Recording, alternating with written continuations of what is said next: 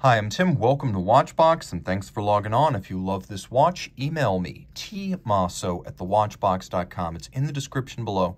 Your purchase and pricing email question line for buying this or any watch you see on any Watchbox platform. Please reach out to me directly. Email tmosso at thewatchbox.com for pricing details. Today, we're discussing a lovely dress watch from Breguet. This is the Breguet Classique 5177 in white gold is the Grand Feu enamel version. So 38 millimeters in diameter in white gold. The watch is impressively only 8.9 millimeters thick and 46 millimeters from lug tip to lug tip with a 20 millimeter spacing between the lugs on my 16 centimeter circumference wrist.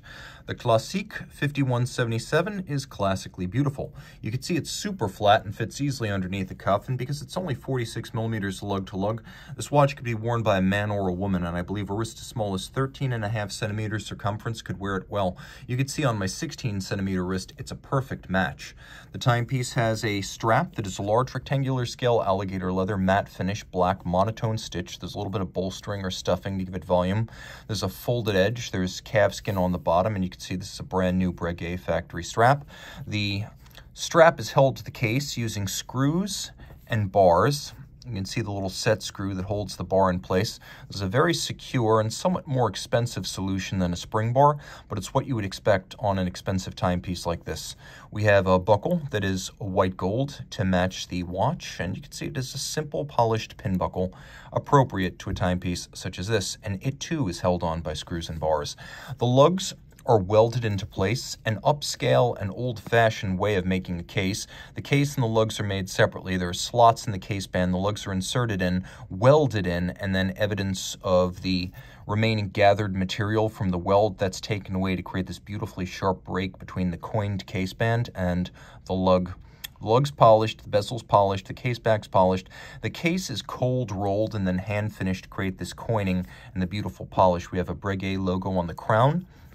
The dial uses a gold base on top of which vitreous paint or glass-based paint enamel is applied, up to 20 applications and 20 firings at 800 degrees Celsius, during which the dial can bubble, it can crack, it can explode. The rejection rate on enamel is high, and it's difficult to achieve an even glaze through all of those layers, which is why this remains a craft art executed at the manual level.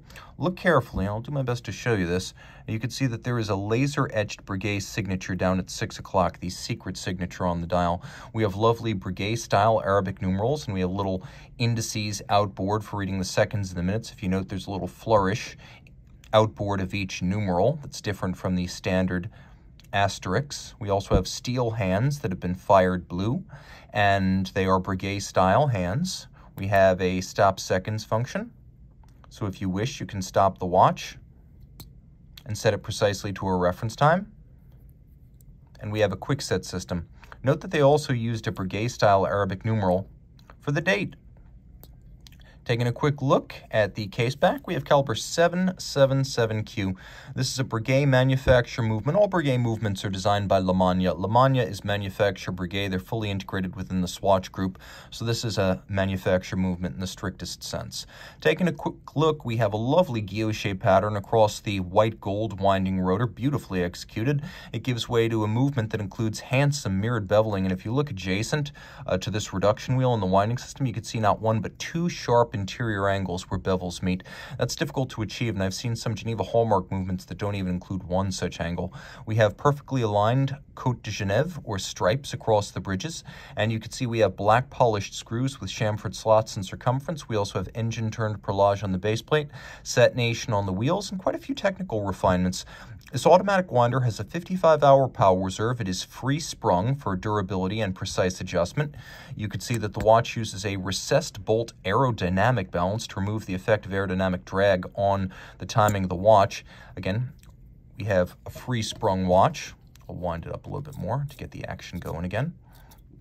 The timepiece includes a silicone hairspring And that's not the end of it. The silicone hairspring gives it phenomenal resistance to temperature-induced timing deviation and also magnetism. But if you look carefully, you could see that the escapement is also made of silicon. It's a bit of a hybrid escapement as it still uses conventional synthetic ruby pallet stones, but the idea here is to reduce friction, reduce mass, reduce the impact of magnetism, and reduce the need for lubricants, and all of those are achieved here.